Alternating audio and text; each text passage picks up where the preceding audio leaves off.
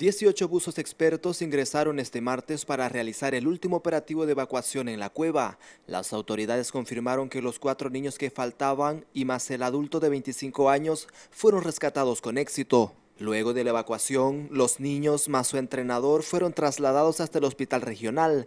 Allí se unieron a los otros ocho que fueron rescatados en las últimas 48 horas.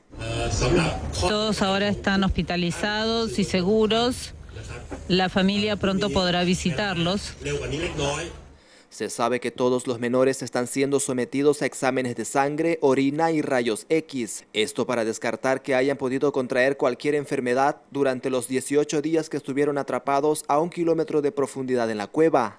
Quisiéramos eh, solamente cerrar, informarles las buenas noticias y aprender de lo que ha ocurrido aquí y esperamos que no ocurra nuevamente.